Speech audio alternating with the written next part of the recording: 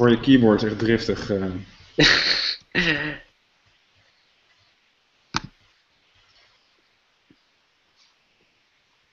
Oké, ja, de link staat nu ook nog op de EMCM Facebook. Misschien dat dat nog wat eh, mensen trekt. Oké.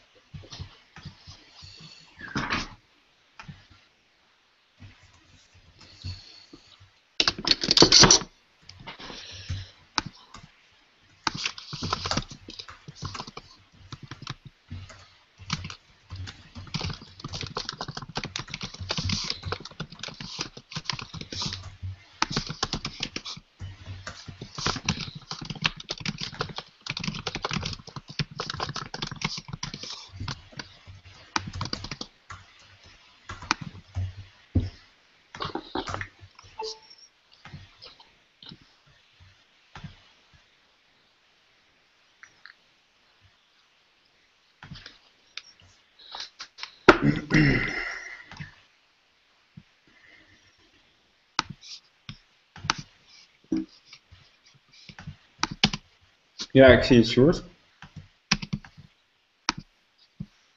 Die werkt. Die test.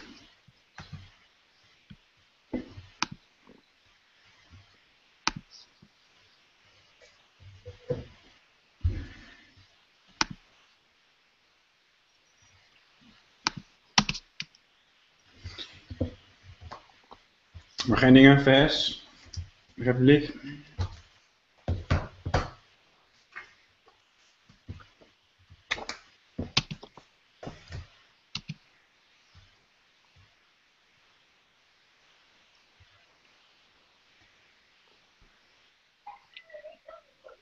Hij is wel. Hallo, goedenavond. Hey. Zijn we er met z'n drieën?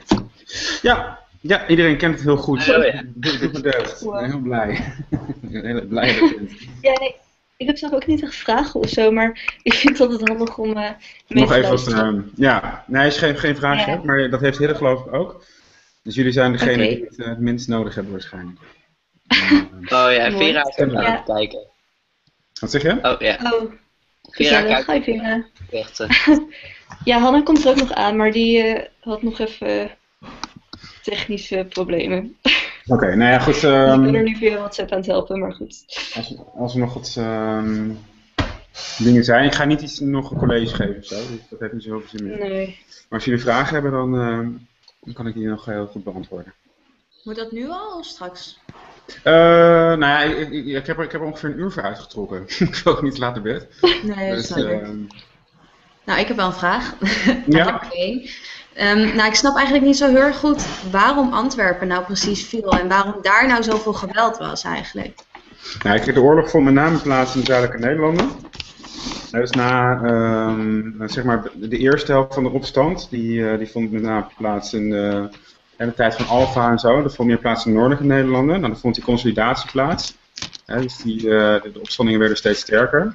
En ehm, wat je daarna ziet, heb je die tweedeling van, eh, tussen Noord en Zuid. En dan de pacificatie van Gent en eh Unie van Utrecht, Unie van Atrecht. Andersom eigenlijk. Ehm, dan, dan, is, dan is zeg maar het begin van de republiek is er dan al. Ehm, en dan, vind- dan, is, dan, is het, dan is dat gewoon meer één gebied.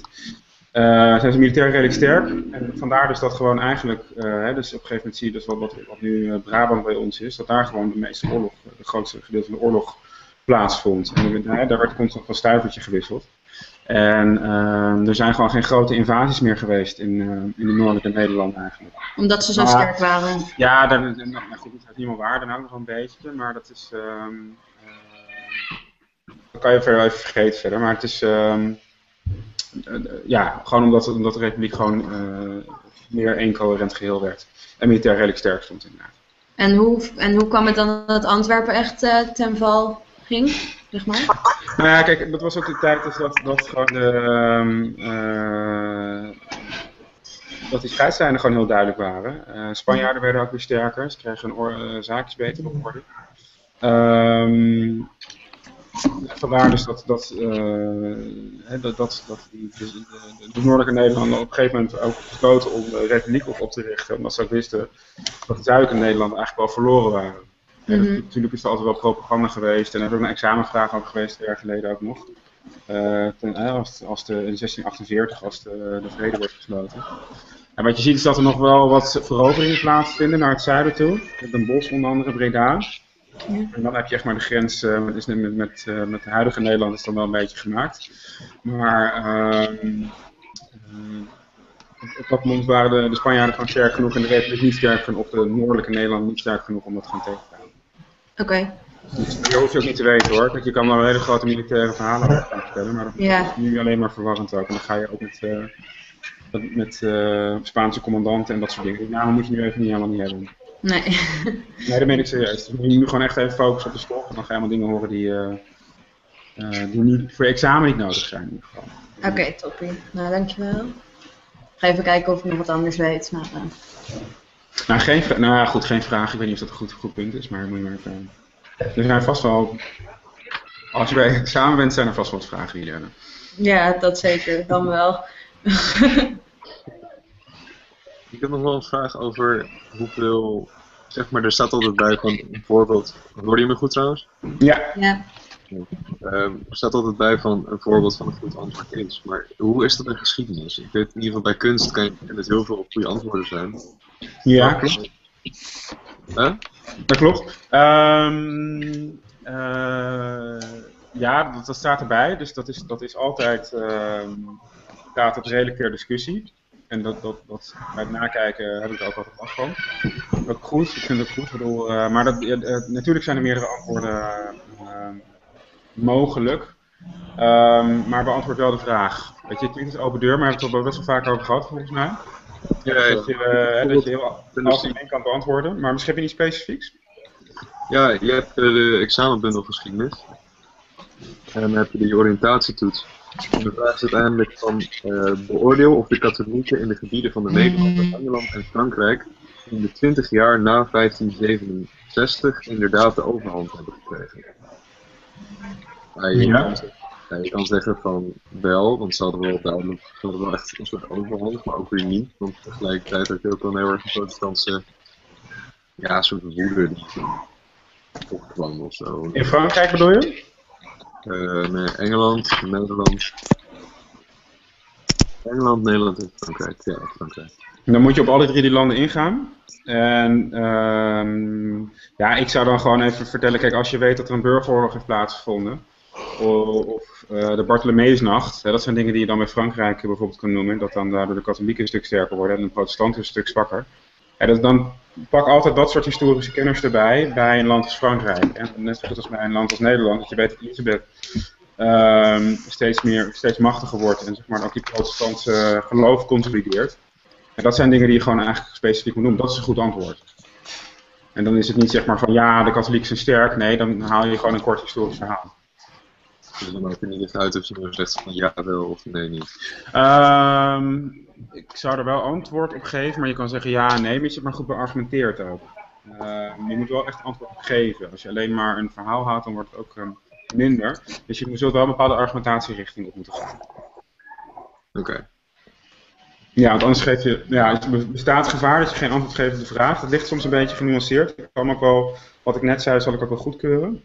Hmm. En als eh, daar moeilijk over wordt gedaan, tweede correctie, dan ga ik daar wel mee aan de slag.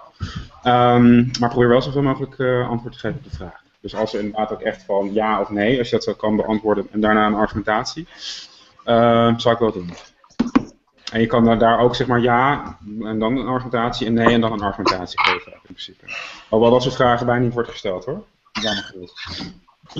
Ja, Dat, mij dat is een in, dat is een in hoeverre vraag en die heb ik al een paar jaar niet meer voorbij zien komen. Eh, dus als die komt, in hoeverre, dan moet je beide kanten altijd belichten. Oké, eh, ik was die oriëntatietoets aan het maken. Ik vond die echt moeilijk van de examenbundel. Heb je Mm, gemaakt? wat zeg je? Want anders is die ook nog gemaakt van ons. Ik ga even kijken nu. Ik heb het niet gemaakt, maar ik ga even kijken wat erin staat. Nou, het kan geen kwaad om sowieso morgen nog eventjes een kort over te nemen ook hoor. En dat is echt niet erg dat je dan niet alles goed, eh, gelijk goed beantwoordt. Want daarna pak, daardoor pak je ook gewoon weer kennis mee. Ehm, en het zet je wel gewoon een beetje op het juiste denkspoor. Dus daar moet je ook niet door laten afschrikken dat, dat je het moeilijk vindt. Kijk, het examenshoofd is meestal ook niet heel makkelijk. Ehm alhoewel ik denk wel dat je het gewoon goed gaan doen. Dus daar moet je niet door laten afschrikken. En zo'n als zo'n vraag als deze, ehm, als je, je weet wat de, wat de is. Ehm, en het gaat over Frankrijk en over de kracht van de katholieken, dus ook over de protestanten sterk zijn, protestanten sterk zijn. Ehm, ja, dan moet je, je moet gelijk dat soort historische kennis gebruiken. Hebben we gewoon, dat is eigenlijk een leidraad van de afgelopen maanden geweest. En dan- die moet je gewoon wel aanhouden. Oké. Ja, dat is echt mijn grootste vraag. Ik was ook gewoon een beetje erbij van, eh, kijk wat anderen vragen. Wat zeg je? Dat was een beetje er gewoon bij om te kijken wat anderen allemaal vragen. Ja, ja, dat gaat voor jullie allemaal gelijk. Als jullie niks hebben, dan is het ook prima. Dan, eh, Nou, ik, zit, ik heb wel een paar vragen, maar ik moet ze even uitzoeken.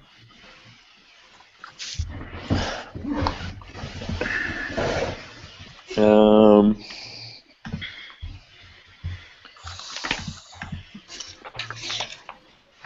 ja, wat moeten we allemaal weten over de Vietnamoorlog? Ehm, niet zo heel veel. In principe gewoon wat. eh, niet zo, kijk, er er staat gewoon een heel gedeelte, eh, hè, in ieder geval in examenkatern in de, ehm, over de Koude Oorlog. Eh, volgens mij eh, specifiek, als je kijkt naar die laatste paragraaf, eh was dat de 65. ehm, ja, tot en met de Tonkin-resolutie, want eh, zover gaat het ook. Het, hè. Dus het begin van Ja. de Vietnamoorlog. Zeg maar, de aanloop naar de Vietnamoorlog moet je kennen en dat hij ook uitbreekt. En die Tonkin-resolutie is in principe is dat het begin van de oorlog. Ehm, en daarvoor heb je gewoon zeg maar alle, nou, alle, alle die escalatie die naar, die naar naartoe leidt. Dus dat is een van de dingen die je gewoon moet weten. Berlijnse muur moet je weten, Domini-theorie. Ehm, de Viet Minh worden genoemd. Dus je moet wel, ehm, daar hebben we het al volgens mij ook best wel vaak over gehad, eh, over dekolonisatie en Koude Oorlog. Dat er een vacuüm ontstaat in al die gebieden die gedekoloniseerd worden, waaronder Indonesië van Nederland, eh, al die verschillende, eh, eh, Indochina van Frankrijk. Ja, dat zijn landen waar de Europese landen zich terugtrekken. Ehm, en er vindt een globaal ideologisch conflict plaats, de Koude Oorlog. Ehm, dat betekent dat de, de wereld moet daar een kant in kiezen. Of, ze- of de VS en de Sovjet-Unie dwingen landen om dat te gaan doen. En daar is Vietnam dus ook een onderdeel van. Dus je hebt tegelijkertijd heb je de de dekolonisatie, waardoor er allemaal nou ja, soort van witte plekken in de wereld ontstaan. En die moeten worden opgevul- opgevuld, om het maar even zo te zeggen, rood, Sovjet-Unie en blauw, VS zeg maar. En dat is eigenlijk wat er ook in, in Vietnam gebeurt. En dan moet je een, paar van die feiten, en dan moet je gewoon, dat, dat is gewoon dat leerwerk weer. Dat is ook niet helemaal eh, paraat, maar dat Vietnam moet je kennen, ehm, president Johnson moet je kennen. Ehm, nou, er wordt wat, er wordt wat van die escalatie wordt er vernoemd en dat er een marionettenregime in, eh, in Zuid-Vietnam eh, eh, zit en een, een, communistisch regime in Noord-Vietnam. Hè, Die, die context moet je een beetje kennen. Oké, Heel veel verder gaat het niet. oké. Waarom is de pacificatie van Gent zo belangrijk? Want het is toch eigenlijk alleen maar dat ze afspreken van ehm, dat die Spaanse soldaten niet moeten gaan muiten. Nou ja, omdat het nog wel eh, een, een punt was waar, waarin de, de opstand, of zeg maar de, de, de Nederlanden nog bij elkaar hadden kunnen blijven. En die kans was natuurlijk heel klein en dat bleek ook natuurlijk in de praktijk ook zo te zijn. Eh, maar het was wel degelijk een, eh, een, een verbond tussen, eh, tussen alle gewesten. En ook nog steeds om dus met, eh, bij Philips te blijven. Dat moet je ook niet vergeten. Het is niet zo dat ze de koning eh, daar dus... eh, Nee, ze wilden die muiters alleen weg, toch? Precies, hè, pas in 1581, dan zweren ze de koning pas vanaf. Dus dat is, ehm, ja, het is een soort van laatste punt, denk ik. Dat is, het is echt een, een, breekpunt van wat, ga- wat gaat er gebeuren met dat gebied, eh, de Nederlanden. En eh, eigenlijk zie je daarna dus de, de splitsing ontstaan die definitief is geworden. Dus vandaar is dat natuurlijk een heel belangrijk eh, punt. Oké. Oh ja, en die deductie van Franken. Ehm, ja, wat, wat was eigenlijk. Waaraan ontleende hij zijn legitimatie om dat op die manier. zeg maar. Vast te stellen? Dat eh, de Nederlanden. toch maar. eh, zeg maar. een gewestelijke macht moesten worden. Ehm, wacht even hoor, wat, wat bedoel je precies? Ja, want wat was zeg maar. wat was hij voor een persoon? Eh, een rechtsgeleerde. Ja, oké. Die, en we hadden, hadden we er ook aardig, aardig veel van. Eh, maar wat bedoel je precies met die, eh, met die gewestelijke vorm? Wat bedoel je precies? Nou, kijk, hij, het is een beetje door zijn eh, deductie dat de republiek bedacht, nou ja, we kunnen net zo goed de republiek vormen, want de, de soevereiniteit die lag eigenlijk altijd al bij de gewesten. Ja. Maar dat was gewoon een analyse van hem en toen dacht iedereen van, ja, oh, iedereen, ja. eigenlijk is dat nee, wel nee, zo. nee, nee. Ehm, eh, ik geloof dat het gewoon- eh, wat is het? er, zit- er, er zitten een aantal historische eh, rechten en plichten eh, die, die meer feodaal van aard zijn, zeg maar. En dan hebben we het ook over zeg maar, uit de Burgondische tijd. Eh, en op, eh, op dat soort ehm, ehm, dingen eh, werd, werd de opstand zeg maar, juridisch of ideologisch, iets wat we noemen, zeg maar, gerechtvaardigd ook. Oké. Oké. Goed. Ehm, en als je, als je het over het examen gaat hebben, dan zal het met name, eh, dan zal je het in de vorm van de inhoud, zal je, zal je wel een gedeelte daarvan krijgen. Ja, oké. Ik denk dat het heel belangrijk is om voor je het examen echt op het begin te weten. Maar die 15, 30 en dat soort dingen. Ik vind het zo saai. Wat hè, bedoel je? En zeg maar de Republiek zelf, dat is wel leuk. En de Ja. net ervoor is ook wel leuk. Maar daarvoor heb je echt nog dat stuk met, eh, met die Spanje en de Burgondiërs en die echt gaat voor de. Ja, goed. ja, nou, ik vind het zelf wel interessant. Maar je kan natuurlijk niet, ehm, je, je kan, je, je kan niet snappen waarom de opstand is ontstaan zonder al die voorgeschiedenis ook. Eh, en hoe de Nederlanden zeg maar eh, tot een eenheid zijn gevormd om de Burgondische tijd daarna ook weer gedeeltelijk uit elkaar zijn gevallen en dan weer tot een eenheid zijn gesmeed in de Habsburgers. Hebben een personele unie, Eh, maar nog niet iets van een Nederland of zo. Dat zijn natuurlijk allemaal onafhankelijke staten. Dat, dat, dat, dat gegeven is natuurlijk een, een reden om in opstand te komen, tenminste die centralisatiepolitiek. En, dus, en vandaar dus dat ze ook weer teruggrijpen op nou ja, dat soort een, een statenbond, en een confederatie van die eh, Nederlandse, Noord-Nederlandse gewesten, zeg maar. Eh, dus het is, ja, ja, goed, er zijn wel meer stukken saai natuurlijk, maar ehm dat moet je wel goed, eh, goed weten. Ja, maar meer de algemene dingen, niet heel precies, zeg maar. Nou ja, kijk, kijk eh, sowieso al die begrippen die, eh, die, die in je boek staan, en zeker die, die zwart gedrukt ook, en ik geloof dat het bij de examenbundel ook redelijk goed zit aangegeven. Ja, die moet je gewoon wel kennen. Hè. Deductie van moet je dan inderdaad gewoon goed kennen. Eh, zoiets als de Tonkin-resolutie moet je kennen, een aantal presidenten moet je kennen. Je moet die Roosevelts goed van elkaar kunnen onderscheiden. Ja, dat zijn gewoon die, dat standwerk wat je als het goed is hebt gedaan. Ehm dus dat, ja, daar, daar, daar, daar, zal zeker naar gevraagd worden. Dus hè, dat is zeg maar altijd impliciet. Er zal niet gevraagd worden wat, wat, eh, wat is de pacificatie van Gent, of wat is de Unie van Utrecht. Maar als het in de vraag staat, dan moet je er, dan moet je er wat mee. Dan Ja, moet ik, je, het, ik vind het best wel lastig om te weten wanneer ik nou goed voorbereid ben. Want ik kan op zich, ik weet gewoon van alles wat het is. Als ik een begrip lees, kan ik er gelijk over vertellen. Mhm. Maar is het dan ook nog slim of zo, dat had je al een keer gezegd, om een beetje gewoon de lijn te weten? Natuurlijk bijvoorbeeld van de economie eh, tijdens de republiek, maar ook gewoon van de burgerrechten bijvoorbeeld. In de VS dat je een beetje moet weten hoe het doorloopt door de jaren heen. Ja, ja, ja, dat sowieso. Ja, die, die, zeg maar, die verschillende paragrafen, eh, die, Ja. die volgen ook allemaal een lijn. Ja. Ehm, dus je, je, je hebt zeg maar zo'n hele economische lijn door het thema heen. En je hebt de lijn van, eh, van Engeland en Frankrijk. Nou, wat daar gebeurt, dat moet je natuurlijk ook zeg maar hè, gelijk kunnen betrekken dan van wat in Nederland gebeurt, wat er economisch gebeurt. Maar ze hebben zelf zichzelf ook een lijn. Die moet je wel ook wel degelijk ook eh, kunnen onderscheiden. Daar wordt over het algemeen ehm, een vraag die je daarover krijgt, die heeft te maken met continuïteit of discontinuïteit. ja. Dus of er, en, en dan wordt wel degelijk ook gevraagd van hè, door de tijd heen, en dan kan het echt aan het begin van het, van, het, van het thema zijn tot aan het eind van het thema zijn, dat er, dat er gevraagd wordt naar breekpunten of iets dergelijks. Dus die moet je wel weer goed kunnen onderscheiden. ja. En ehm, nou ja, misschien dat ze hem anders eh, verwoorden, maar meestal, ehm, nou ja, volgens mij 9 van de 10 keer, of zelfs 4 van de 10 keer is het, eh, zal het woord continuïteit of discontinuïteit er dan in zitten. Oké, en er naar de lijn gevraagd. Ja, en die jaartallen, want ik heb dan ongeveer 50 jaartallen ja, opgeschreven eh, bij de Republiek alleen al. Moet ik die echt Mhm. allemaal kennen? Of eigenlijk wel, hè? Ja, Ja, Ja. Ja, ja goed. En eh, Ja, je krijgt een chronologievraag en soms krijg je er eentje eh, dat, er- dat het aan bronnen wordt gekoppeld eh, en dat je die dan in de juiste volgorde moet zetten of iets Ja, dergelijks. ja. Eh, dat is een grapje wat ze twee jaar geleden geloof ik hadden uitgehaald.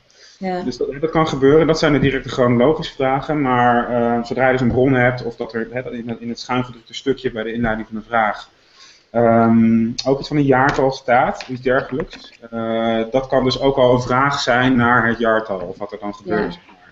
Ja, dus dat, is, weer, dat, is weer, handig. dat is weer gewoon het impliciete. En dat, is gewoon, dat is gewoon de kennis die je moet gebruiken en kunnen toepassen in, in- in- voor die vraag. Dus ja, dat moet, je, dat moet je gewoon kennen. Maar ja, daar, maken we niet zoveel zorgen om. Dat heb je, dat heb je echt wel met niet denken. Nee, het klopt. Als ik ook zo'n chronologische vraag doe, dan heb ik hem eigenlijk altijd goed. Ja. Al, ja, al weet je het niet heel precies of zo, maar toch heb je wel gewoon een beetje een gevoel van wanneer dingen, zeg maar... Heb je ook, welke- eh, nog wat oude examens gemaakt ook nog? Ja, Ja, nou weet je, dat, dat, dat is wat je kan verwachten. Dus, Ja, eh, er zijn toch maar twee andere voor de VS en Ja. voor de VS examens. alleen, alleen VS voor vol, vol- was vorig jaar inderdaad. En Mhm. ehm Republiek was Republiek daarvoor ook. Oké. En die van daarvoor, zeg maar twee- van eh, het, twee jaar, drie jaar geleden, die moet je niet gebruiken. Want dat is, dat is echt een ander soort republiek. Dat is een thema wat heel erg economisch was. En dat heet de dynamiek en stagnatie, dus daar moet je niet aan beginnen. Oké. Nee, serieus, want er staan dingen in die je gewoon niet kan weten namelijk. Nee, oké. maar die eh proefexamens die achter in je katern staan, die zijn op zich toch ook wel gewoon op niveau, zeg maar? Ja, redelijk. Het zijn geen examens. Uh-huh. Eh, maar ja, dat is wel een beetje wat je kan verwachten. Oké. Ja, nee, weet je, de, de, de examens, als je die gewoon goed bekend voorkomt en je denkt van nou, hier kan ik wel eh, goed mee uit de, uit de voeten, ook met, met, het- met het soort vragen, hè, want het zijn natuurlijk hele textuele vragen, heel veel inleiding soms erin. Ja, daar moet je gewoon even goed op voorbereiden. Ehm, maar als je denkt van nou, dit, dit is qua kennis, eh, kan ik hier goed uit de voeten, dan uh, dat is echt, heel veel moeilijker zal het ook niet worden, daar ben ik echt van overtuigd. Oké. Dan, dan zouden ze wel hele rare sprongen gaan maken namelijk. En dat zou ook niet terecht zijn. Nee. Ik had ehm, bij die, bij die oriëntatietoetsvraag zie je ook van, hoewel de Nederlanden hier niet op de kaart staan, maakt het in 1555, bij Karel afstand, deel uit van het gebied waarover hij heerste. Hoe was dit gebied in zijn handen gekomen? Volgens mij was het door trouwen, maar ik denk echt Ja, door, door erfenis en eh Bij wie? trouwens. of zoiets. Moet ik dat... Karel de Vijfde? Ik verstond niet helemaal. Ja, Karel de Vijfde.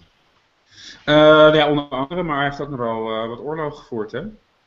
Gelderland heeft hij uiteindelijk nog... eh, dus er zijn Als nog- laatste, toch? Ja. Ja, conflicten nog eh, geweest ook nog. Ja, dat is gewoon een, ehm, een, eh, een combinatie van, eh, van verschillende, dus compleet, compleet ja, verschillende strategieën, die erfenis inderdaad, eh, Maar, maar dat soort vragen, dat diplomatieke druk.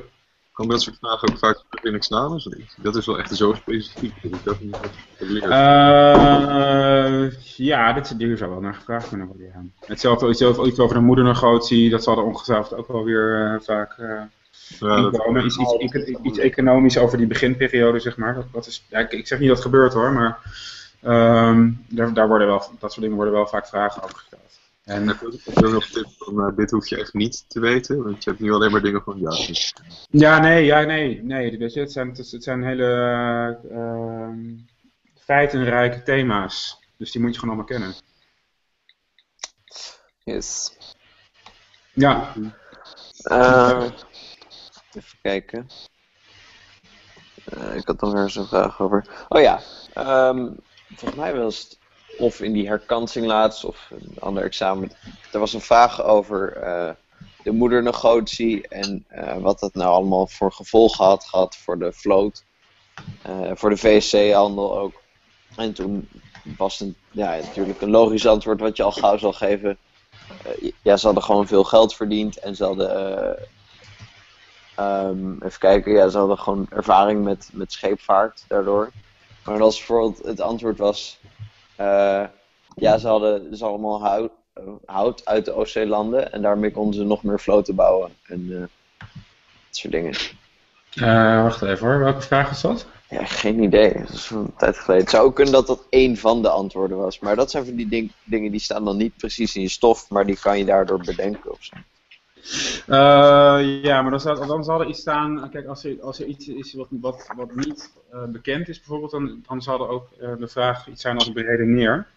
Ja, dat je bepaalde Ja. stappen wel zelf dus moet gaan zetten, zeg maar. Dus dan, dan Ja. is dat wel zo'n vraag. En dan, kan je, dan word je wel in ieder geval op dat spoor gezet van, oké, er zit kennis bij en een aantal denkstappen die ik dus zelf moet gaan invullen. Oké, en als ze zeggen beredeneer, dan moet je echt een beetje van, hier heb je de oorzaak en dit, eh, dit is het gevolg. Beredeneer, zeg maar, zeg wat de tussenstappen zijn. Ja, Dus ja, een en beetje- ik zou- Ja. ja, en ik zou wel... ehm nou ja, goed, weet je, die stappen moet je altijd doen. Hè? Dus het gevaar bestaat altijd dat je gewoon te kort uitlegt. Eh, en, en te weinig, zeg maar, mij als eh, degene die moet nakijken meeneemt in hoe je beredenering is. Ehm, dat is wel een fout die veel wordt gemaakt. Dus dat, dat, eh, nou Oké. goed, dat, daar, daar heb jij toen veel, eh, veel stappen in gezet de laatste paar maanden. Ja, dus die, die antwoorden zijn al een stuk uitgebreider geworden. Ja, dat, die, die lijn moet je ook wel echt vasthouden. Ja, dat. Dat, dat, dat, dat, dat- ja, eigenlijk zit er altijd wel een redenatie in de, de, de, de geschiedenisantwoorden. Ja, want in principe, nou ja, laten we zeggen dat de helft van je punten ongeveer komt eh, uit hoe goed je eigenlijk logisch kan nadenken, oorzaak-gevolg eh, aan elkaar kan relateren, eh, hoe je je vragen beantwoordt, dat soort dingen. En de andere helft uit kennis. Ja, zoiets zal het wel zijn. Ja, kijk, je komt, je komt met een aantal, als je gewoon een aantal definities gebruikt, nou, je denkt van, nou, ik, ik weet god niet waar het over gaat. Maar er komen wel een aantal termen bekend voor en je kan in ieder geval die, die termen ehm, benoemen en aan elkaar praten. Ja, dan, geef, dan geef je mij in ieder geval ook genoeg dingen Ja. in handen om daarmee ook aan de slag te gaan, zeg maar. Oh ja, Ook al is dat niet, niet per definitie dan een goed antwoord, maar en, Mhm. soms heb je vier punten te verdelen. Ehm, en dan kan er altijd eh, dat ik er twee kan geven, bijvoorbeeld. ja. Nou, een bepaalde even kijken, structuur die ik in mijn antwoorden had aangenomen. Ja. Ik hoor nu heel veel echo trouwens. Ik weet niet van wie het komt. Ehm, even kijken. Ja, dus als ze zeggen, ehm, nou, leg de relatie uit tussen deze twee dingen. Dus dat je, en dan krijg je twee begrippen. En dat ik dan Mhm. het eerste begrip eigenlijk beschrijf, en dan het tweede begrip en dan de rest toe. Zeker als het iets is met meerdere punten, daar let ik zeg maar heel erg op. Als het Ja. iets is met drie punten, Ja. dat je dan. eh, Je kan, ja. ja, je kan, dus, no- je kan dus niet, eh, je kan dus niet zeggen, dat, en dat, ook dat klinkt misschien wel als een open deur, maar het gebeurt wel. Van, eh, nou, uh, verklaar een verschil. eh, dit is het ene, en dan geef je daar een, eh, een inhoud aan. En, en aan de andere kant zeg je van, en het andere niet. Of, of, of Ja. ander dan. Dat kan dus niet. Dat is dus geen verschil verklaren. Ook beschrijven op welke manier het niet zo is. Ja. Precies, en dat is wel echt een groot verschil. En dat is soms, soms als je dan dat gaat doen, zie je ook dat, dat, dat er soms hele verschillende antwoorden ook eh, uitkomen. En dat, is dat het begrip soms wel of niet aanwezig is. Dus eh, altijd, eh, die twee dingen moeten altijd benoemd worden.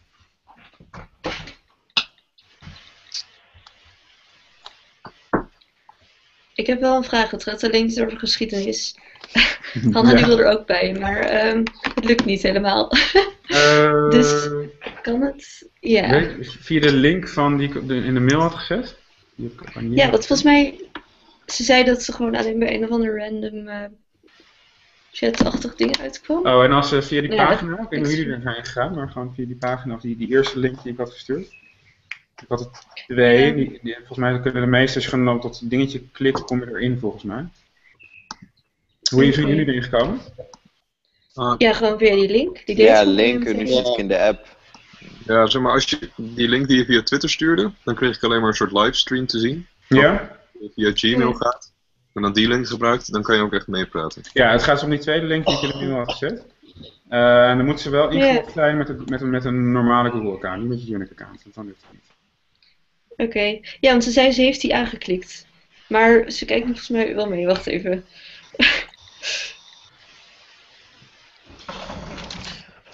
ja, want ze zit nu dus wel in die livestream. Alleen het lukt kennelijk niet om via die link, gewoon die tweede link ook hierin te komen. Oké. Maar ja, daar. Ja, want, ja, goed, vandaar dat ik die twee, link, twee links erin had gezet. Dus die, eh, ik wil niet dat iedereen er eh, zo bij komt. Wie denk je dat het hoogste cijfer gaat halen, Jan? Ik heb een idee, maar dat ga ik jullie niet met jullie delen. Achteraf zeggen, ja, dat wist ik. Ja, ja. Ja? Ja. Ik het best wel, ik wil het best wel een envelop. eh, dat we het daarna openmaken. Maar ik ben, er Ja. redelijk, ik ben er wel redelijk zeker van. Ja. Oké. Ik ben benieuwd. ik had nog wel een vraag over eh, de Verenigde Staten. Ehm, eigenlijk in het hele eh katern is, komt steeds die angst voor het communisme heel erg naar voren. En volgens mij na de, tweede, na de Eerste Wereldoorlog wordt dan het begrip Red Scare gebruikt. Kan je Ja. dat eigenlijk altijd gebruiken of alleen specifiek voor die periode? Nou, er zijn eigenlijk twee periodes waarin je kunt gebruiken. Weet, je- weet je de tweede ook of niet? Die is op zich wel goed. Ehm, is... Ja, dat is helemaal aan het einde. Ja. Ehm, ja, dat is inderdaad met eh, eh, de Sovjet-Unie en de Vietnamoorlog, die, die periode. Ja, Senator McCarthy. En dus al die vervolgingen die ook plaatsvinden, dat al die eh, mensen die nou, die moeten uh, voorzittingen moeten komen en dergelijke.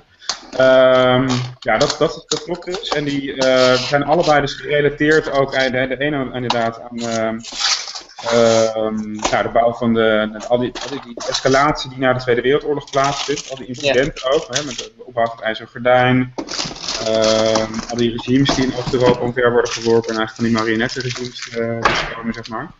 En ehm, nou, dus nu zijn natuurlijk, ehm, de Amerikanen hebben natuurlijk altijd al zo'n ideologie gehad van eh, het, individu, echt een, een liberaal. Ja. Het komt de hele tijd naar voren inderdaad, ja. ja. En als je dat dan eh, in die context gaat plaatsen, dan heeft net eh, de, dat was het allerbelangrijkste, de Russische revolutie plaatsgevonden. En dat is zeg maar echt, echt wel de aanleiding ook voor die Red Scare. Ja, En, en, en er vinden heel veel onrusten plaats, veel stakingen. Ehm hè, dus er is echt wel ook een, een, een- klasstrijd aan de gang in Amerika. En dat, dat zie je dus wel constant ook terugkomen. Dan komt de hele progressive movement komt er ook vandaan. Oh ja. Ehm, dus dat is echt wel een, een nu weer trouwens, eh, vandaag de dag. Eh, maar in die tijd kan je het ook heel specifiek koppelen aan de Russische revolutie. En die tweede kan je ook heel erg specifiek koppelen als de Koude Oorlog op zijn hoogtepunt staat. Ja, en, de, en die hele eh eh raketteninstallatie op Cuba. eh, ik. Ja, ja, Ja. maar ja, ja dat, dat is meer, maar dan zitten we al bijna in niet qua Koude Oorlog, maar qua thema zit je dan wel al aan het einde. En we hebben natuurlijk een aantal andere dingen hebben er plaatsgevonden. Hè. Dus opstand in Hongarije, eh, dat China communistisch wordt, eh, Rusland krijgt een atoombom, oprichting van het Warschau-pact, de Berlijncrisis, nou, allemaal dat soort dingen. Die moet je ook allemaal kennen ook, hè. Dat, eh, dat is zo'n typische chronologie, chrono- chronologievraag die, je die je kan krijgen. En dat zijn een aantal dingen die heel kort op elkaar volgen, eh, maar die wel ook wel bepaalde specifieke logica hebben. Dus daar moet je wel even goed naar kijken. Maar dat is ook weer zo'n typisch, je hebt van die eh, paragrafen of, of stukken van, een- van het thema die niet heel kennisdicht zijn, maar waar dingen worden verklaard. Je hebt ook een aantal waar heel veel van dat soort gebeurtenissen en feiten terugkomen. Maar die moet je echt even goed van elkaar. Ja, dat is inderdaad heel compact stuk inderdaad. Ja. Ja. Oké. Maar koppelen, hè, dat ik eh, gewoon de communistische revolutie en, eh, en de Koude Oorlog. Die twee dingen. Die, die, die- als je gaat kijken van wat zijn dan aanleidingen ervoor, dat, dat kan je daar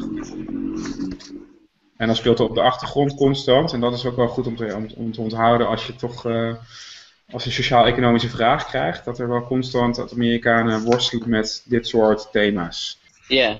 Dat ze er wel of, niet, wel of geen oplossing voor vinden. Dat ze dus ook heel erg ehm, ja, aan de ene kant soms extreem libertair kunnen zijn, hè, dus heel veel vrijheid en alle deregulering. Aan de andere kant als tegenreactie, als alles weer uit de hand loopt, dat, dat dan weer ook flink gereguleerd gaat worden. Ja. Dat je weer een ehm, een redelijk links, nou, voor ons begrip dan niet heel links, maar toch een redelijk links eh, regering weer krijgt. Oh ja, ik, daarover had ik ook nog een vraag. Ehm, in het begin is het dus zo dat de eh, democraten heel erg behoudend zijn en de republikeinen niet. En dan op een gegeven moment dan draait dat dus om. Ehm, alleen dat in het boek staat daar geen jaartal voor. Wanneer is dat ongeveer? Nee, dat is ook niet echt een jaartal. Dat, dat, dat, ehm, dat begint eigenlijk eh, zo'n beetje rond de, dat heeft een beetje te maken met rond de eeuwwisseling. Dat dat, eh, dat, dat langzamerhand gaat eh, veranderen. Oké. En ehm, Ja. je ziet eigenlijk, zeg maar, dat, dat de, de, de allergrootste shift, en dat, dat is ook weer weer aan het eind ook van het, van het thema. Eh, als de Democraten zeg maar definitief kiezen ook voor eh, de burgerrechtenbeweging onder Johnson en na Kennedy, ehm, dan verliezen ze ook het zuiden. Het zuiden is dan eh, heel erg, eh, is dan op dat opzicht redelijk conservatief. En de Democraten waren daar een stuk sterker en dan verliezen ze dus het zuiden ook echt. Eh, en dat is dus, weet je, dat die hele beweging helemaal vervolmaakt is, zeg maar. Maar er lopen een aantal dingen door elkaar heen, hè. Dus, Ja. ehm, eh, de, Republiek, de Republikeinen waren natuurlijk de, de partij die de, de, de slavernij hebben afgeschaft, onder, onder Lincoln natuurlijk. En uiteindelijk, aan het, aan het eind van het thema, is, de Republiek, is, het, zijn het meer de, is het meer de partij die de status quo wil behouden. Oh, Ja. zuiden, zeg maar. Dus, eh, dat zijn wel dingen die, die verwarrend kunnen zijn. Op zijn minst. Ehm, ik had op zich ook nog wel een vraagje over, ehm, zeg maar, er was zo'n examenvraag en daar moest je uitleggen waarom Willem II verwachtte dat Cromwell op een gegeven moment de staatsgezinde in 1650 of zo te hulp zou komen in Amsterdam. En ik snapte het niet. En toen kreeg ik het antwoordenblad en ik snapte het eigenlijk nog steeds niet. Welke vraag was dat? Ik moest nog even bijpakken. Ehm, even. 2013, tijdvak 1, vraag 9. Ik denk dat ik wel weet wat je bedoelt, maar even kijken hoor. Je kent natuurlijk alle examens uit je hoofd, toch? Nou ja, ik heb ze natuurlijk wel allemaal nagekeken en, en ook wel gemaakt.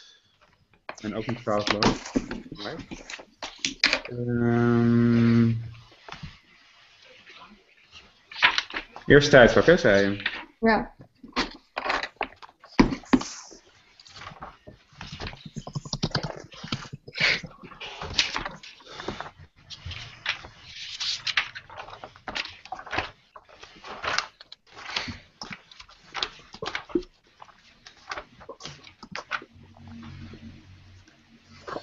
Ehm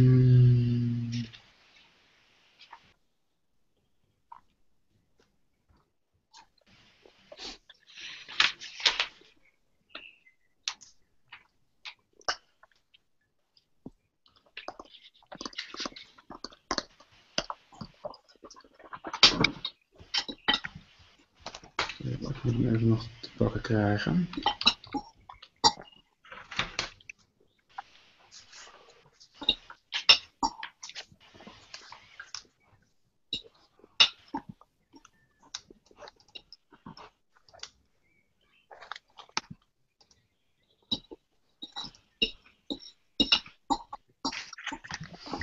Mm, nou, dat is wel een hele specifieke.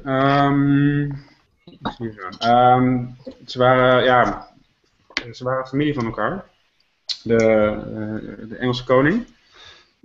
Ehm, en ehm, Cromwell is aan de macht gekomen ehm, met de strijd tussen koning en parlement. Maar de, eh, Karel eh, de Eerste was de schoonvader van eh, Willem II. Dus als Willem II daar de macht zou krijgen, dan zou dat een gevaar kunnen zijn. Dus, hè, dan zou dus zeg maar een vijand van hem zou dus eh, aan de macht komen in, eh, in de republiek, of nog sterker worden, zeg maar. En dat zou een gevaar zijn voor de machtspositie van Cromwell.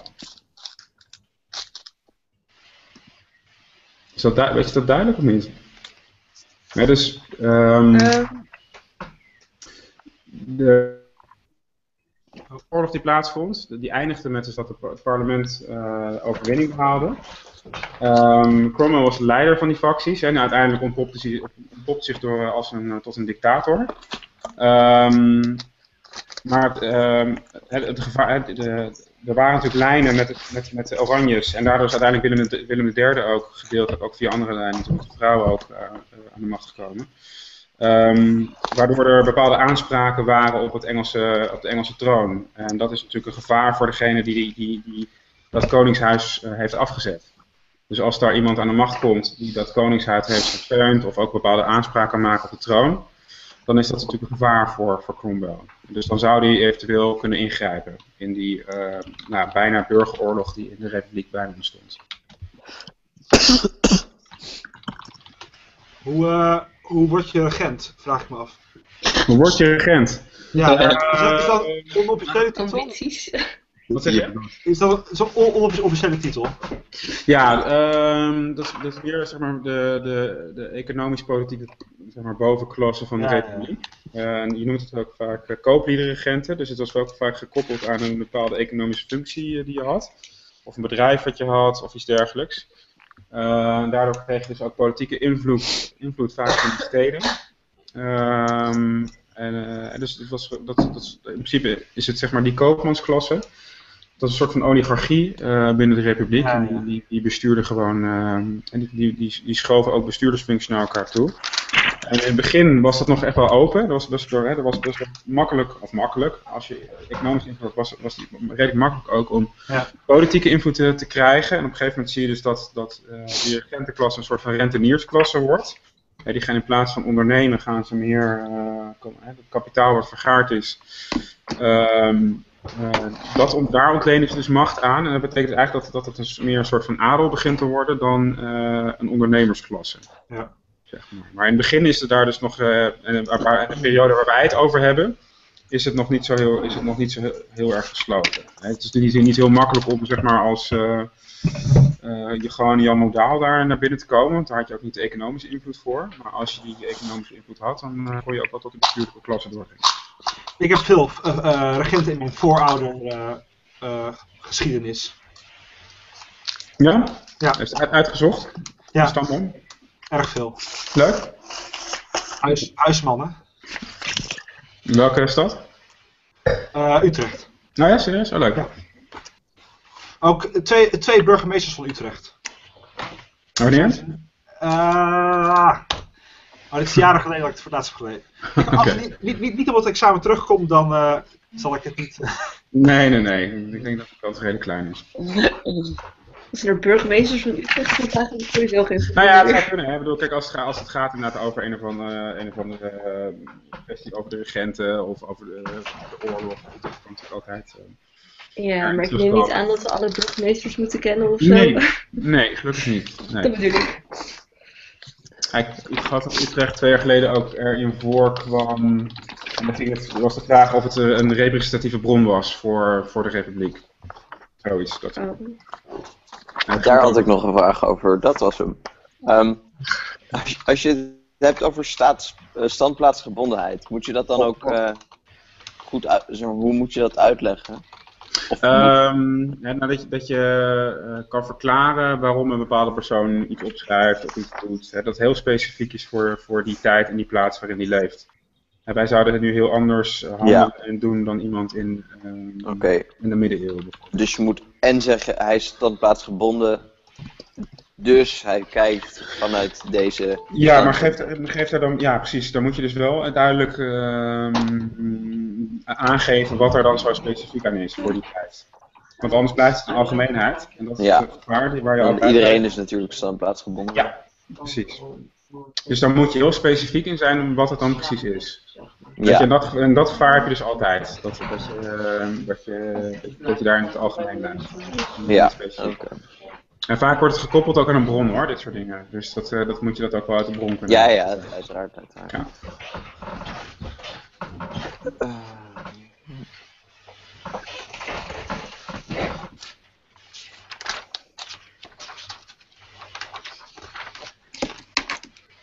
Ik heb nog wel een leuk familieverhaal. Ook. Dat- Mijn, eh, de, de familie André de Laporte, zeg maar mijn vaders kant van de familie, die is hier naartoe gegaan in de eh republiektijd. Door de, door de welvaart hier. Ja? Dat is wel grappig. Waar vandaan? Frankrijk, verrassing. André de Laporte. Ja, ja, nee, goed. Ja, dat kan ook Zwitserland zijn. Dus je bent gewoon een vieze Huguenot, Sjoerd. Ja, ja, Ja. en Ehm, ik zie hier nog een vraag ook over, hebben de Galieerden na de Russische revolutie teruggestuurd naar Rusland, net zoals dat we deden tijdens de Boksrevolutie? Ehm ja, er zijn, het Westen heeft ook eh, troepen aan de, aan de witte kant, aan de tsaristische kant, zeg maar. Dus zijn daar ook Westerse troepen meegevochten. Heeft ook heel veel kwaad bloed gezet bij, eh, bij de Sovjets. Ja. Meer hoef je ook niet te weten hoor. Ik geloof ook niet eens dat je het hoeft te weten voor examen, maar het is wel even goed om die context.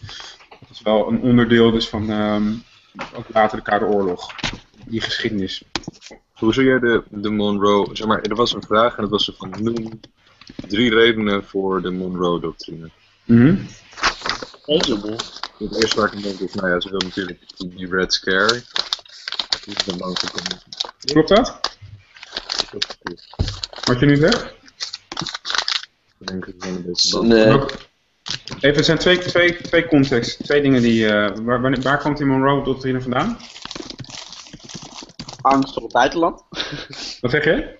Een soort angst voor het buitenland en Euro ja, Europa. Maar, even, even, even specifiek, wat is het?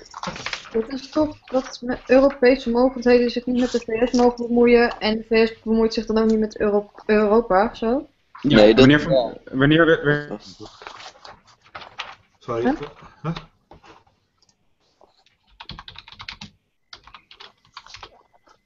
Is hij allemaal nou weg? Ja, hij is weg. Hij had geen zin meer in. Daar is ik klaar mee. Die ook jongens, gemaakt is kunnen helemaal echt heel uitgegaan. James Monroe was dat. Ik zie. We stellen gewoon te domme vragen. Oh, die... Oh, Oh. Heb je geen in? Don't leave us. Oh, de Monroe-doctrine. Ik zat te denken aan de Truman-doctrine. Ik dacht, waarom heb je het dan in hemelsnaam over? Ik hoorde het niet goed. Veel Maar wat was de vraag onderhand? Eh, Sjoerd stelde echt een heel erg domme vraag. Echt intens dom van.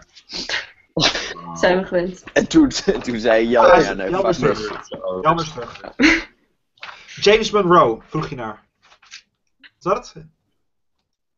Nee, je bent niet te horen, jammer. It's back. Zo soepel dit allemaal. Hij is er weg. Nou, Die is hier hij helemaal. Nee, hij gaat, hij gaat eh, reloggen. Eh, eens even kijken. Vinden jullie ook die vraagstellingen bij geschiedenis? Ik snap echt nooit wat ze bedoelen. Ik zit er altijd zo van, wat wil je nou van me weten? Je hebt Ben ik er weer? Samenbundel aan het begin. Je een paar dingen van, hey, als ze dit zeggen, dan dit. Het is wel chill, moet je even doorlezen. Ik, ik krijg opeens allemaal een mooie foto van hem. Ja, hij is er weer. ja, hoor je me of niet? Ja, mooi. Ja, nu wel. Ja, mooi. Ehm, ik heb volgens mij die, die hangout niet meer onder controle. Niet meer onder controle. Ja, precies, het is chaos nu. Ehm Oké, jullie Zeg moeten maar... niet het over. Ehm nee, kijk, de vraag was dus eh, Monroe. Ehm Drie ja, redenen. even Sjoerd. Nee, even, even, even terug. Ehm, wat Sjoerd zei. Monroe, wanneer was die? 1823. Oh, 1823. Ja, de Red Scare, wanneer was dat? Later. 20? 19, 19, 19. Ja, begin eh, vlak na de Eerste Wereldoorlog. Dus die twee dingen moet je, kan je sowieso al niet per definitie zo aan elkaar dus koppelen qua oorzaak en gevolg, eh, dat soort dingen. Dus daar moet je, eh, wat je net zei, daar moet je zo voorzichtig mee zijn. Dus je trekt twee begrippen uit, bij elkaar die chronologisch gezien niet bij elkaar horen. Ja, Sjoerd, bedoel, weet je zeker dat je niet de Truman-doctrine bedoelt? Want dat is wel een beetje in dat dezelfde tijd. Ja, ik, ik. Na de Koude Oorlog. Of na de Koude, zeg maar, eh, begin van de Koude Oorlog, president Truman, Ja, ik dacht de dominee-theorie. Ja, Na de Tweede Truman-doctrine, Wereldoorlog. containmentpolitiek, communisme, spreidingstoppen. Oh ja. Dominee-theorie, Truman-doctrine, dat zijn dingen die je, die aan elkaar moet koppelen. Oh, dat komt. Dat ook wel. Je zei Monroe-doctrine. Ja. Maar, Nee, maar is- goed, kijk, dat zijn dingen dus die, eh, ehm, hè, dat, dat soort dingen juist, waardoor je, eh, eh, je- daar daar moet je gewoon echt even helder zijn van, hè, oké, Monroe, 1823, hè, dat zijn dingen die, die, waar je gewoon even heel scherp op moet zijn. Dat, dat zijn slordigheden die je niet op je examen moet hebben gewoon. Dus daar moet je gewoon echt even op, op gespitst zijn, dat dat, dat dat niet gaat gebeuren. En Truman-doctrine is echt iets wat je moet kennen. Dat, dat moet je gewoon, eh, moet je gewoon echt, als je er niet, bekend voorkomt, of dat te vaag is, moet je er gewoon echt even goed naar kijken. Dus de grote kans dat er iets over wordt gevraagd over die periode in de Koude Oorlog, dan heb je grote kans dat je dat wel erg moet, eh, moet, voor moet gaan gebruiken.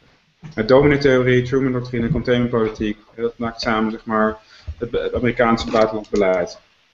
Wat moet je trouwens allemaal weten van de Founding Fathers en de, de VS die hun eigenlijk voor. onafhank- onafhankelijk... Ja, dat komt ervoor, maar je krijgt er toch best vaak eind 1700. vragen over die er betrekking op hebben. handig. Ik denk dat er wel wat, ik denk, denk eerlijk gezegd wel dat er een vraag over komt. Dus iets wat het staatsbestel of iets, iets dergelijks. Ja, het gaat met name over die eerste twee, hè, de, de, de, de korte context van de onafhankelijkheid geschetst en daarna het staatsbestel van de, van de, van de Verenigde Staten. En ik denk dat je die kennis van, en dat zal een soort van maatschappijwetenschapachtige vraag zijn, dat je die kennis van het staatsbestel wel zo kunnen gaan toepassen. Eindelijk is dat een bron. Hmm. Oké. Ik had nog wel een vraag. In hoeverre moet je het hele 14-puntenplan kennen? Of alleen de belangrijkste? Nee, nee, de eh, belangrijkste punten, nee. nee. Alle 14 is je kop. Nee, nee, alle 14 die staan er ook niet in, hè. Dus eh, die worden ook bijna... Je moet er twee, studeren. volgens mij moet je er twee echt kennen. Ja, dus die Volkerbond, Volkerenbond. Ja, en, eh, en het zelfverschrikkingsrecht. Ja, Oh ja, de Volker- laatste is ja. heel erg belangrijk, ja. Dus dat een staat zelf mag bepalen wat voor staat het wordt. Een volk. Of Ja, een en dat volk zelf ja. mag bepalen wat staat wordt. eh, grondgebied. Ja. ja, en dat leidt natuurlijk ook tot heel veel verwarring ook. En, Ja, eh, nou, grappig. Ho- Ho Chi Minh was daar geweest ook, hè. Die heeft het ook aangegrepen om... eh, en die dacht ook echt dat de Amerikanen hem daarin zouden, zouden steunen ook. Niet heel geheel onterecht natuurlijk. Ehm, dus die belofte van de hè, Amerikanen, dat eh, is natuurlijk niet... eh, niet, niet dus daar zijn ze niet mee doorgegaan. Het is ook niet aangenomen, hè, dat, eh, dat plan. van Nee. Nee, want ze wilden zelf er niet in. Nee. De, het congres heeft dat afgeschoten, hè? dus dat moet je Ja. even goed... eh Ja, dat is, dat is gewoon heel een, veel... een terugkerend thema. Wat je Ja. gewoon. Het is altijd. Waarom lukken de plannen van deze president niet? Ja. Het Nou ja, kijk- congres was van de tegenpartij. Je hebt vaak, eh, je hebt vaak een presidentsverkiezing en twee jaar daarna heb je een hele grote tussentijdse eh, congresverkiezing. En dat, bijna altijd zie je dan dat die polen weer verschuiven. En op die Ja. manier hebben ze dus zeg maar die machtsbalans Ja, eh, het, eh, het ingebouwd. zit zeker in dat, eh, dat laatste is stuk. makkelijk. Wat zeg je? Klagen is makkelijk. Ja, Ja. ja. maar doen ze genoeg. En, Het hè, is dat, altijd- bedoel, het, het heeft nu weer bijna, het land is bijna failliet gegaan door die, eh door die stand-off die ze hebben gehad. 17 triljoen schulden aan schulden. Toch ook? Ja. Nee, maar goed, daar zou je dus. ehm, kijk, dat is nou. ehm, Zo'n soort vragen aan het staatsbestel, dat zou je kunnen krijgen inderdaad. En dit is ook al wel mooi om dat te weten. Ja. Gewoon hele goede dingen. Wat houdt het militair-industrieel complex eigenlijk precies in? Ja, dat vind ik altijd zo vaag. Dan ga je Ja, een dat- beetje dat- lopen lullen en dan... Dat is het ook. Dat, dat is het ook. Dat is een, eh, het idee dat ehm, eh, de, de, de lobby van. Kijk, wat je, wat je bij oorlogen ziet, is dat zeg maar, de militaire industrie enorm uitbreidt. Dus ook meer economische macht krijgt. Eh, een groter gedeelte van de economie gaat, gaat innemen. Dus die hebben er ook baat bij bij bepaald buitenlands beleid. En dat kan meer agressief zijn, of dat kan, die kunnen gaan pushen voor grotere verdediging. Nou, daar hebben ze bijvoorbeeld eh, bij ons met de JSF, daar zit ook een bepaalde militaire industrie, een militair industrieel complex zit erachter. Ben ik. Ehm, en die was enorm groot geworden. En Eisenhower was, is, eh, kwam natuurlijk zelf uit het leger. En die wist donders goed eh, hoe het daarmee stond en hoe, hoe invloedrijk die waren. Ehm, en die, die heeft daar ook voor gewaarschuwd. Dat die invloed gewoon niet te groot mocht worden. En die is wel heel groot geworden. En zijn, zijn advies is uiteindelijk niet ehm, opgevolgd. Op een gegeven moment had hij, nou, schijnt het bordje van de buck stops hier. Hè, tot hier en niet verder. Niet uh, industrieel complex. En dat is dus zeg maar gewoon dus, uh, nou, alle grote uh, wapenbedrijven samen met hele nauwe banden met het leger en de politiek. Um, en aanverwante industrieën die dus uh, lobby's uitvoeren om, uh, om orders binnen te krijgen, om te zorgen dat er heel veel geld naar defensie toe gaat. Dat soort dingen allemaal. En zeker in de context van, van, de, van de Koude Oorlog, en dat, dat bleek uiteindelijk waar, zie je dus dat er die defensiebudget echt explodeert. Um, en, de, daar, de, nou goed, en de gedachte was dus van, uh, van Eisenhower dat je daar heel voorzichtig mee moet, moet, moet omspringen omdat die dus uh, zijdelings en op de achtergrond uh, politieke invloed hebben. En dat is dus niet democratisch. Ja, het heeft iets van een soort van conspiracy-achtig idee ja. erachter. Maar er zijn natuurlijk altijd heel veel belangen die, die invloed proberen uit te oefenen op, op, de politiek. En in dit geval is, is um, nou ja, de defensie is dat altijd een heel groot probleem. En zeker in, in een grootmacht, een supermacht als de Verenigde Staten. Dus dat een beetje, het is niet een heel coherent en makkelijk begrip. Maar dit is wel wat het is. Oké. Okay. Het is gewoon een soort samensweringstheorie. Ja, maar dan wel. Uh, Enige legitimiteit erachter. Ja, precies. En ook niet. Het is, het is, het is, het is, het is gewoon hoe uh, politiek en maatschappij werkt. Kijk, hou mensen, mensen, mensen proberen gewoon invloed uit te oefenen. En dat heeft niks met conspiracy theories of zo iets dergelijks te maken. Lobbyen. Dat, is helemaal, dat gaat weer een stapje verder. Maar dit, okay. dit, is, dit is gewoon uh, ja, lobbywerk en dat soort dingen inderdaad. En, maar... Dat, dat, de defensieuitgaven van de Verenigde Staten zijn toch hoger dan van welk land dan ook? In het Ja, veruit. Ja, gecombineerd zelfs met een heleboel landen is het nog eh, groter. En zit er- de verwachting is wel dat China dat, eh, eh, dat noem je pariteit gaat krijgen met de Verenigde Staten in deze eeuw. Maar dat zal nog best wel lang duren, denk ik. Maar het is ook omdat je de Verenigde Staten als één land beschouwt. En als je heel Europa Ja, als één land zou beschouwen, dan heb je waarschijnlijk ook een denk.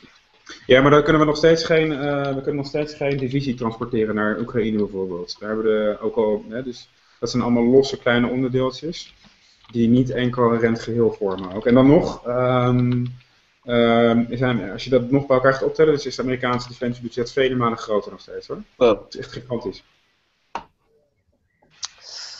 Ja, want dat zag je ook in de grafiek eh, inderdaad, in een van die eh, toepassingstoetsen van het examenkatern. Mhm. Ehm, dat er bij de Eerste Wereldoorlog wel een redelijke piek zat.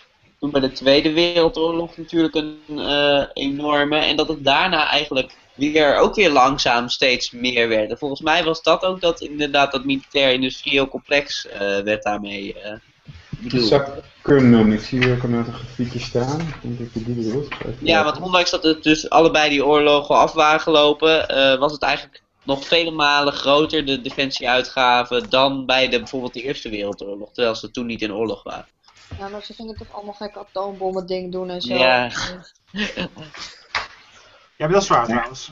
De Koude Oorlog is veel, veel duurder dan de Tweede Wereldoorlog. Ja, ja, klopt. Nou, dat, dat durf ik niet zo 1, 2, 3 te zeggen trouwens, maar er zal ongetwijfeld een kern van waarheid in zitten. Nou, ik zie die grafiek ook niet zo, heel, een- zo snel staan. Ja, ik, was ik zie er wel eentje met Duitsland, maar... Maar in ieder geval is, het wel, is, is, is, is, is dat heel groot geworden inderdaad, ja. En dat is ook niet, na, naarmate zeg maar die eh, idee van de, eh, dat- dat de Sovjet-Unie echt een bedreiging ging vormen, dat was natuurlijk al heel snel, ehm, zijn die uitgaven inderdaad wel weer enorm eh, opgevoerd nog weer. Terwijl er net een, een oorlog ach- eh, achter de rug was. Maar die enorme expansie die, die, eh, ehm, die het leger heeft doorgemaakt, dat vond natuurlijk wel plaats in de, in de Tweede Wereldoorlog. Maar je zou dus kunnen zeggen dat het eh, militair-industrieel complex niet echt is gestopt. Is Nee, zeker niet. Nee, nee, nee, nee. Nee hoor, Als- kijk, als je nu kijkt hoe de, eh, hoe de uitgaven nu gaan en eh, de invloed die ze hebben eh, en ook eh, het percentage wat er aan defensie wordt besteed, dat is gigantisch. En dat is ook, stuur, ook in bepaalde mate ook eh, een van de belangrijke factoren hoe het Amerikaanse buitenlands beleid wordt bepaald. ook.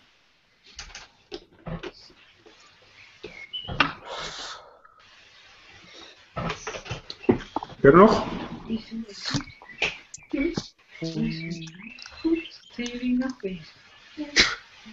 We gaan zo stoppen hoor. weet ik niet. Hoe dan gaan slapen, Isabel? Ja, ja precies. Ja. Nee, slaap, is, slaap is wel een van de belangrijkste tips die ik je geef. Dat je goed uitgerust bent is het allerbelangrijkste. Dus ga zeker niet met een pot koffie nog op zondag eh, nacht eh, iets doen. Sorry. Waar zit Dat is jij? mijn oma. Hallo. Hoi. Hallo. Jij. Dat is de leraar. Nou, veel succes. En, en, dat, en dat op zaterdag.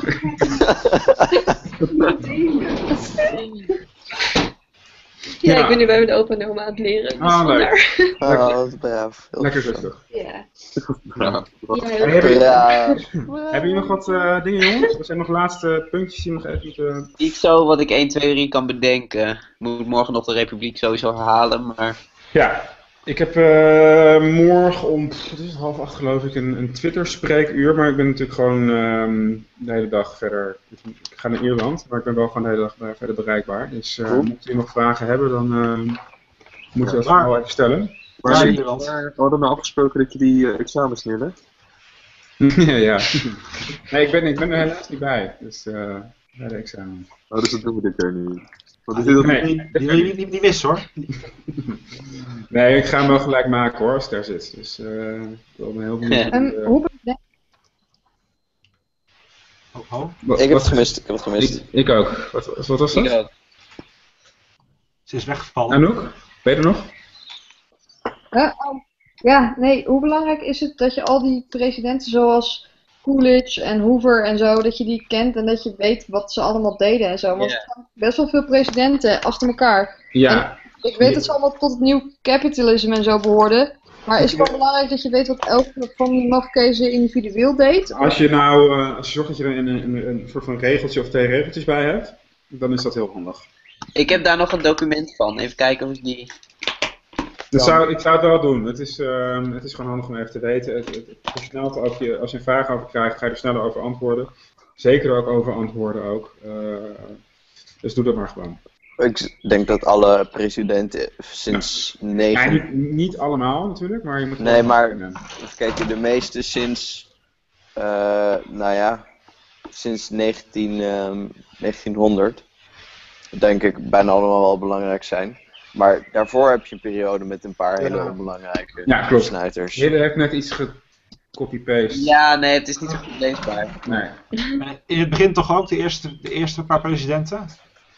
Washington. Eh, alleen Washington. Nee, je- de rest, Alleen Washington. De rest hoef je niet te kennen, nee.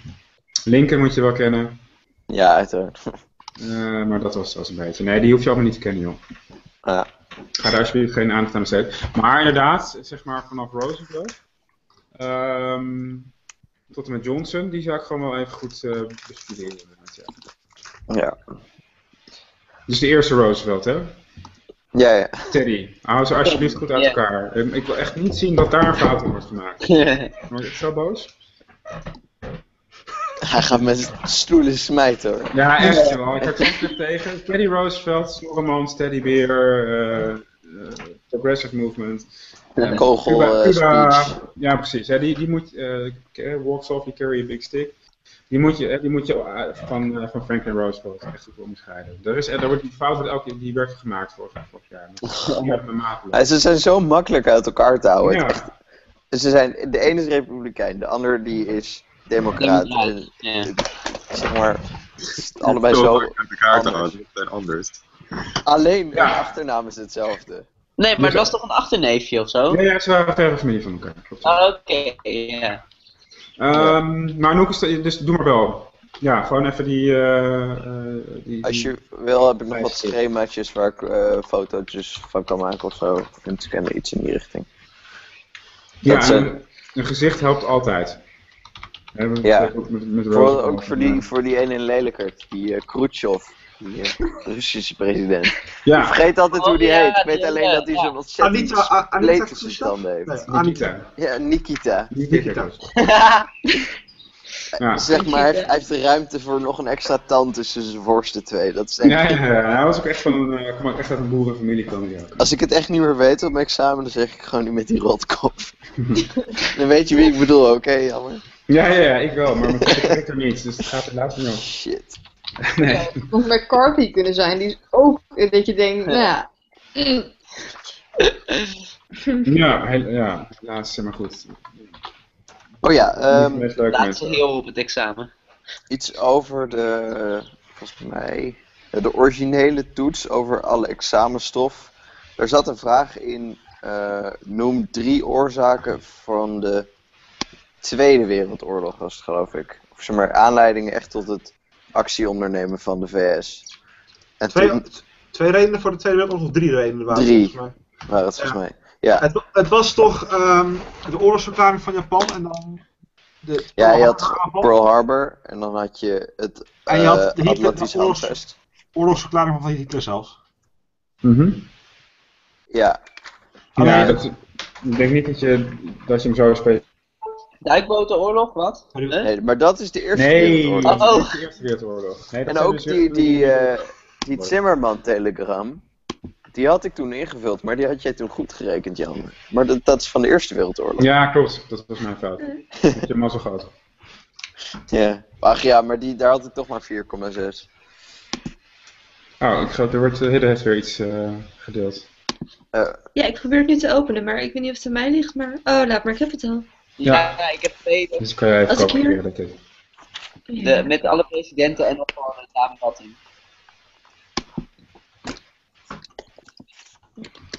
Oh ja, hoe Ja. is het trouw- trouwens tijdens het examen dat je refereert naar zwarte of negers of, of multi-ethnical Ja. people? Wat is Ah, de Nee, bedoeling? nee, je, kan, je, je kan het hebben ook gewoon over de zwarte bevolking. Dat- Ja, oké. wordt het volgens mij ook in, Friedman. in, de, in het thema. eh, Friedman Ah, kan natuurlijk ook. Ja. Ja. Die kan je daar gewoon sowieso je van gebruiken. Heb je verder nog iets, jongens? Ik zit even te kijken en ik geloof het niet. Ik, ga- ik heb nog eh, een aflevering House of Cards die ik graag wil kijken. Dus, Ja! eh, dat- Ah, beter. Waar, waar zit je? Waar, waar zit je? Eh, ik begin nu net aan seizoen 2, hoop ik. Tenminste. Ah, wordt aan het einde pas. Oh, daar heb je nog heel veel te gaan. Ja, ja, ja. ja ik, ben, ik heb hem ook echt eh, gebinged de afgelopen week, geloof ik. Echt Goed zo. een tijdje uitgesteld, maar niet eh, goed gedaan. Ja, Ja. Ik had geen vragen meer. Ja, mooi. ik, ik moet nog wachten tot na geschiedenistoets en dan komt een nieuwe Game of Thrones uit. Ja, ja, ja, die heb ik ook op. Smart op te wachten. Oh. Na geschiedenis heeft iedereen de tijd. Ja, nee, echt niet. MAW, fuck die shit. Ja, en we weten al. En wiskunde. Ja, nou, wiskunde, dat wordt zo easy. Ik heb er kopjes. komende week gewoon hebben we er nog vijf. Ah, vijf. Ik heb Nou, jongens, in ieder geval heel veel succes. woensdag klaar. Bedankt. Wel. We gaan, eh, Oké, dankjewel Jan. Ja, Fijne eh, avond. We gaan maken nog even een goede leerdag van morgen en ga niet te veel. eh, ga, ga zondagavond gewoon lekker eh, goed naar bed. En, Geen alcohol drinken. Geen alcohol drinken, absoluut. Gebruiken. Ja, hey, maar heel veel succes, jongens. Komt helemaal goed. Dankjewel. Dankjewel. Yes, dankjewel. Doei. Hoi. Fijne avond. Jij ook. Zo, wat een klootzak zeg. Hey, nog Hoe is trouwens Duits gegaan bij jullie? Goed. Bij de, bij de... Ja, bij jou Isabel, hè? Ik heb eigenlijk alleen aan Anouk te vragen, want van Sjoerd weet ik al. Sjoerd is heel trots met zijn 22 punten. Nou, ik weet niet hoeveel, hè. ik heb de open vragen niet meegerekend. Oh ja. Dan word ik echt zo van, ja, volgens mij heb ik hem goed gebruikt. Ik heb hoger dan een 4, daar ging ik voor. Jij zo, oh, ja, ja, oké, oké, oké, maar wacht, ik heb namelijk van een 7, dus... Ja, ik heb mezelf gewoon echt intens hard verbaasd. Volgens mij zit Esther daar straks gewoon die, een beetje die toets na te kijken en dan... What the fuck? What the fuck is hier gebeurd? Ja, ik dacht alleen maar opschepper. Nee, maar even serieus. Het, het slaat nergens op. Want ik had het van mezelf niet verwacht. En ik heb echt niet veel geoe- geoefend. En ik haalde altijd slechte cijfers op veel leestoetsen. geoefend. Ik heb een examencursus gedaan voor drie dagen. Ik heb daarna echt niet meer geoefend. maar ik heb zeg maar... Ik heb echt niet geleerd. Ik heb examencursus even, laat gedaan. me De stappenplan uitpraten. geleerd. En iedere dag de Duitse woordjes geoefend. Ik heb bijna niet geleerd. Dat was mijn voornemen. Ik heb dat twee dagen gedaan. Nou ja, sorry. Oké. Laat maar, laat maar. Oh mijn god, ik zat zo elke ochtend van half negen tot tien uur daar in Leiden. Ik heb echt niks gedaan. Geleerd. En, ja, ik heb Oh, ik ben echt niet naar het avondprogramma gegaan. Hoe doe ik dat? Nee, maar... eh, wat ik bedoelde... Als die... Ja. Laat ook maar. Kom je Nee, dan ik, had, ik, had een, ik had een 5,2 gehaald toen ik daarna nog een oefenexamen had gemaakt. En volgens mij dat oefenexamen wat ik daar had gemaakt, had ik een 3 gehaald of zo. Dus toen dacht ik echt van, nou ja, dit wordt niks. Dus ik was gewoon blij verrast. Wordt niks, wordt niks, wordt niks, wordt niks. Ah. Maar ja, Maar toch eh, heb je ook een examencursus gedaan, dus heb jij nog gouden tips? Voor geschiedenis. Ja. Ehm, even kijken hoor, of ik daar nog goede stappenplannen voor heb. I love stappenplan. Ik heb er zelfs een pennetje van. Ik heb met deze pen wel die Duitse examen gemaakt en die ging goed, dus dit kwam gelukkig. Ja, die ging zo goed. Je had een 4. Ik weet helemaal niet ik... Grapje. Tra- Maar trouwens, Anouk, vond je hem makkelijk? Het Duits examen? Of vond je hem goed te doen? Nee, Ik ben ik benieuwd haalde echt. heel erg van dat eh, examen. Er zat gewoon één hele tekst in die ik niet begreep. Die FIFA-tekst. Of die, die alcoholtekst. Ja, die alcohol, jongen, die alcoholtekst. Ik zat er... Ik weet het niet, ja, ik, ik, ik snapte er helemaal niks van. En ik weet niet, ik baalde er heel erg van, want ik weet niet, ik had echt best wel hoog cijfer kunnen halen. En nu heb ik Oh, kut.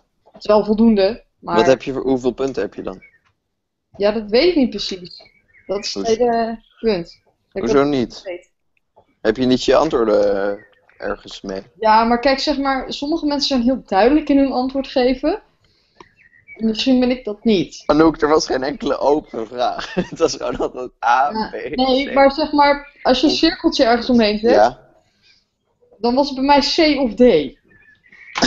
oké. Ik Op zeg, maar dan manier. zat ik zo van, hé, hey, cirkeltje. Dan weet ik niet meer later of ik COD bedoelde. Dus, Ah, oké. Maar het was in ieder geval voldoende, dus dat scheelt. Nou, mooi. Gelukkig.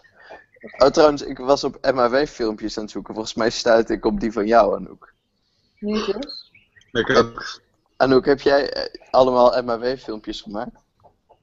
Nee. Niet? Het is volledig anoniem. Die MW-filmpjes, daar heb ik nog gezien van dan ook. En Anouk is weg. Ik ga je ook, ook verlaten. Oké, doei. Ja, is goed. Fijne avond. ik, was, ik was aan het zoeken, MAW, gewoon op, op, op eh, YouTube. En het eerste resultaat dat ik vind is gewoon een of andere PowerPoint. Dus ik klik erop, ik zie zo, hé, hey, Anouk V. Oké, 1995 of vij- eh, Anouk V 95. Oh, oké, toevallig. Ik, ik luister zo en ik hoor zo'n stem en ik denk, oké, dat is gewoon een meisje. En toen luisterde ik even nog wat beter. Toen ik, hé, hey, wacht, is dit Anouk? Ik ben nog veel te zijn. Maar nee, dat is Anouk Maar- V 95. Het is haar internet alter ego. Het Je oma. is gewoon de net een nieuwe iCarly. Maar ja, oh ik denk dat ik ook ga. Examentips. nog... eh, Oh ja.